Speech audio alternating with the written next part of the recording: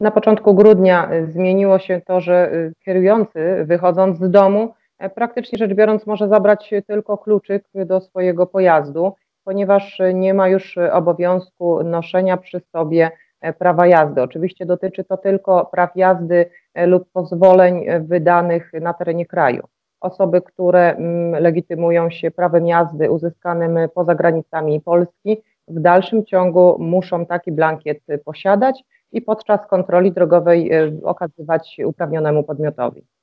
Rozporządzenie prezesa Rady Ministrów od 2020 roku nie zmieniło tutaj stawek, jeżeli mówimy o taryfikatorze i o mandatach karnych.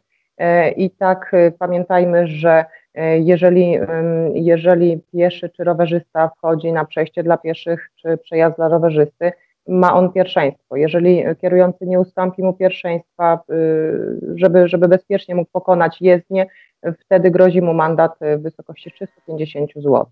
Jeżeli chodzi o, o nasze bezpieczeństwo, nasze własne bezpieczeństwo, czyli zapinanie pasów, przewożenie dzieci, które nie mierzą więcej niż 150 centymetrów. E, również y, kary są takie same, czy za korzystanie z y, telefonu y, podczas jazdy. Przekroczenie prędkości, tutaj mamy mandat od 50 do 500 zł. E, ten największy 500 zł jest za przekroczenie prędkości e, odpustalną o ponad 51, a jeżeli przekroczymy tą prędkość w obszarze zabudowanym, też z zatrzymaniem prawa jazdy przez kontrolującego.